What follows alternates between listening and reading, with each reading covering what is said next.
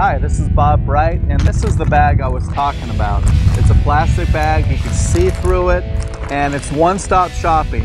If you have a golf bag, you have 10 different pockets that you can look through when you're out on the course to find some, something. But the reason why you want something like this is because when you're out there, you don't want to be fumbling in their bag. You want to be know where everything is, and you want to take the time to concentrate on your golf game. This is a little thing that's going to make a huge difference for you out on the course.